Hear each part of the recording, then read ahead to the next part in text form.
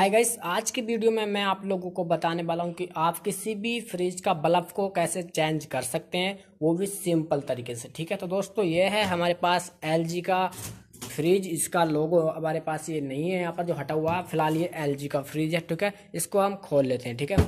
अब दोस्तों, आप लोगों को ध्यान देने वाली बात यह है कि जब भी लाइट ख़त्म हो, यानी कि आपको जो बल्ब चेंज करना है, वो दोस्तों, उस टाइम करना है जब हमारे फ्रिज का तार वगैरह हटा हुआ हो या लाइट भागी हो, ठीक है? आप लोगों को लाइन पर काम नहीं करना है बल्ब को लाइन पर चेक नहीं करना है, ठीक है? चेंज नहीं करना है। तो दोस्तों उसको चेंज कैसे करते हैं? चलो, करते हैं शुरू। तो दोस्तों, आप लोगों को पहले ये वाला जो सिस्टम दिख रहा है आप लोगों को, ये बाहर की साइड इस प्रकार से खिंच जाता है, ठीक है? अब आप लोगों को बड़े आराम से इसको बाहर की साइड को निकाल लेना है, इस प्रकार से जो कि हम निकाल चुके हैं और इसको ऊपर की साइड रख देते हैं, ठीक है?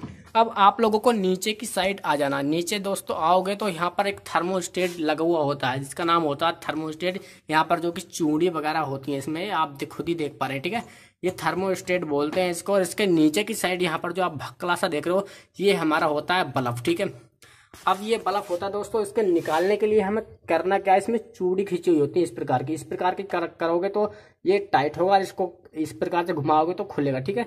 आप लोगों को दोनों तरफ़ से घुमा कर देख लेना ठीक है? हम इसको इस प्रकार से यहाँ पर घुमा के निकाल लेते हैं ठीक है? एक बार। जब लाइन यानी कि लाइट भागी हुई हो आप लोगों को तभी करना है काम।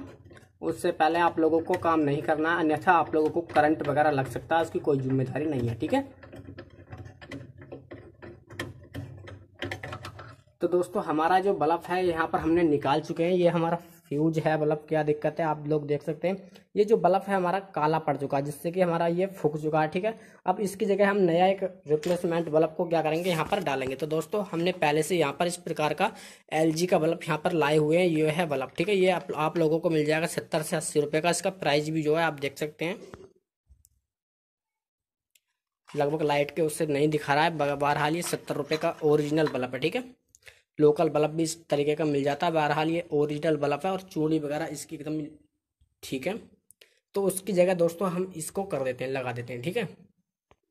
तो दोस्तों, इसको लगाने के लिए आप लोगों को सिंपली कुछ नहीं करना है। जिस प्रकार से खोला था, इस प्रकार से आप लोगों ने उधर की उल्ली साइड को खोला था, ठीक है? अब आप लोगों को इधर अंदर की साइड इसको होल्डर में बड़ा देना, जैसे खोला था, उसी प्रकार से इसको टाइट कर देना, ठीक है? इसको हम यहाँ पर टाइट कर देते हैं। ध्यान रहे कि ये बल्ब हमारा गिरना नहीं चाहिए। गिर गया तो आपका नुकसान हो सकता है, ठीक है? नीचे को फूट भी सकता है बल्ब आप लोगों को बहुत ही ध्यान से इसको करना है और आप लोगों को ये फुल टाइट करना है, ठीक है? बल्ब जो है आप लोगों को फुल टाइट करना है। ये हमारा जो बल्ब है दोस्तों, फुल टाइट यहाँ पर हो चुका है। अब हम इसका लगा देते हैं स्विच। स्विच लगाने के बाद जो हमारी जो लाइट वगैरह है, वो सारी की सारी जल जाएगी और हमारा बल्ब अच्छे से काम करेगा। तो हम इसको पहले इसका जो सामान हमने निकाला था उसको वापस उसी प्रकार से यहाँ पर लगा देते हैं, ठीक है?